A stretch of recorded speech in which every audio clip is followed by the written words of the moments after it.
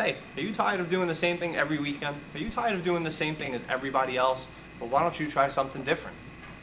So come on down to Action RC Mini Speedway. Here you have the chance to drive a real race car, but smaller. We even have NASCAR cars for all you NASCAR fans. Here at Action RC Mini Speedway, we have a full pit area to fix, maintain, and repair your car. We also have a full inventory of parts that is constantly being added to. These cars are fully customizable right down to the color of the wheel nuts. A stock car can run about, about 15 miles an hour, but a fully equipped race car can run in the 40 mile an hour range. The track we use run two different types of cars. One race that we run is a small-scale rally race. The second type of race we hold is NASCAR oval racing. The track is being constantly updated, so you will never race the same track every week.